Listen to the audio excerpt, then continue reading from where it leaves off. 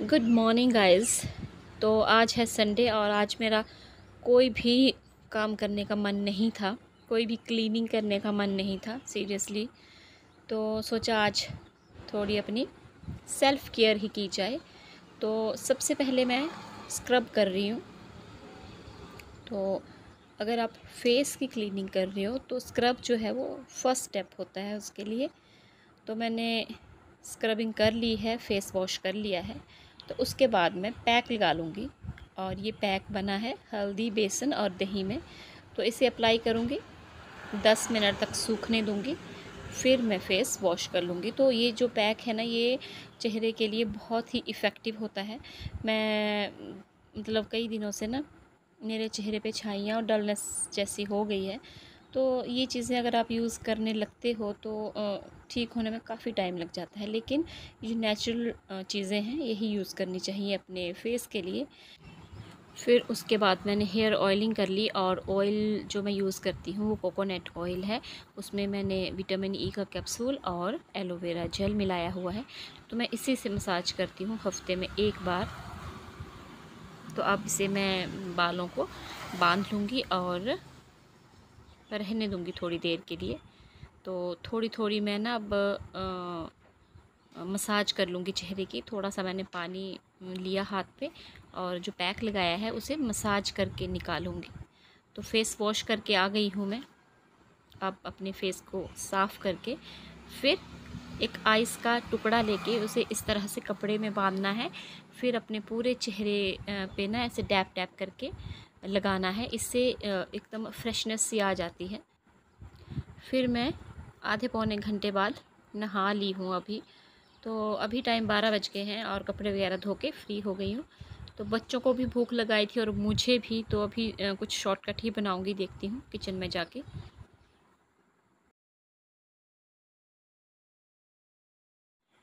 तो आ गई हूँ किचन में और अब बनाऊँगी मैं खीर। तो चावल ले लिए हैं मैंने। तो शॉर्टकट वही है, खीर ही बनाऊँगी। और जल्दी भी बन जाएगी। तो गाइज़ अभी फ्री हुई हूँ, अभी नहा के आई हूँ और पार्सल आ गया था मेरा तो सोचा अनबॉक्सिंग आपके साथ सामने ही कर लेती हूँ फ्लिपकार्ट से। तो ये जो पार्सल है फ्लिपकार्ट से जो मैंने मंगवाया था, ये काफ़ी जल्दी आ गया था, मुझे उम्मीद नहीं इतनी जल्दी आएगा। तो एक सूट मंगवाया है अपने लिए। बहुत ही प्यारा आया है गाइज़ जितना कि इस कैमरे में इतना अच्छा नहीं लग रहा है, लेकिन इतना स्टफ़ अच्छा है, एकदम मुलायम सा कंफर्टेबल बिल्कुल कॉटन का है प्योर कॉटन का और लिबास का है। तो ये मैं अगर आप लोग चाहते हो तो पिन कर दूँगी। बस बहुत ही अच्छा आया है फैब्रिक बहुत अच्छा है कॉटन में है, और ये ना लिबास का है। इसका जो रेट है ये three thousand eight hundred ninety nine का है। लेकिन मुझे डिस्काउंट में मिला है फिफ्टीन हंड्रेड का। तो इसका ये देख सकते हैं एकदम से सॉफ्ट है कलर बहुत ही प्यारा आया है।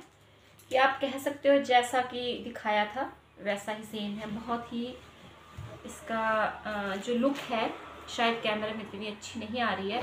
लेकिन इसका लुक जो खादी कॉटन का स्टफ़ होता है ना उस तरह से आ रहा है यहाँ से।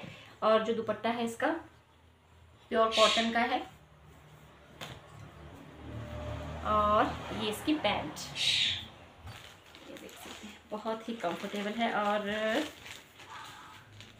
जो इसकी स्टिचिंग है वो एकदम फाइन है क्वालिटी की।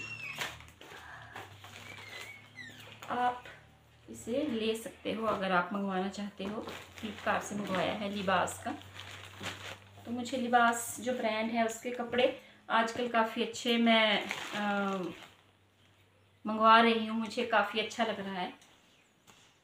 जो चीज़ आपके लिए कंफर्टेबल हो, वही अच्छी होती है। तो मुझे तो ये बहुत ही अच्छा लगा गाइस बहुत ही मस्त है। तो गैस अभी नहा के आई हूँ फेस वॉश किया है, कुछ भी फेस पे अप्लाई नहीं किया है। तो अब मैं यूज़ करूँगी सीरम डीप पिगमेंटेशन का है, क्योंकि मेरे फेस पे ना छाइयाँ बहुत ज़्यादा हो रही हैं। डल स्किन हो गई है। बहुत इसके रिव्यू जो काफ़ी अच्छे हैं। पहले मैं यूज़ कर लेती हूँ, फिर मैं आपको रिकमेंड करूँगी कि आप इसे यूज़ कर सकते हैं या नहीं। इस तरह से लेना है अपनी हथेली में। फोर या फाइव ड्रॉप्स और फिर अप्लाई कर लेना है अपने फेस पे, अपनी नेक पे।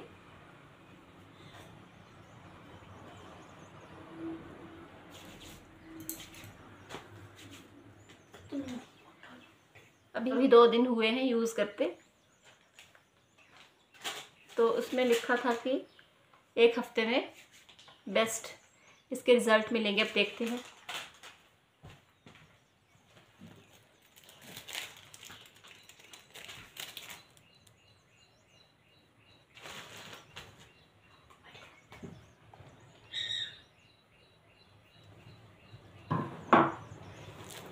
तो गाइस बस यही मेरी आज रूटीन और अभी खीर बनाऊँगी मैं। मैंने चढ़ा दी है चावल तो बाल अभी मैं कंघी नहीं करूँगी, अभी गीले हैं।